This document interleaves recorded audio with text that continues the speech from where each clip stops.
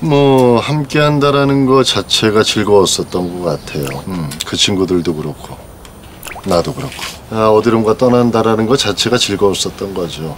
그래서 이제 내일 떠나보려고요.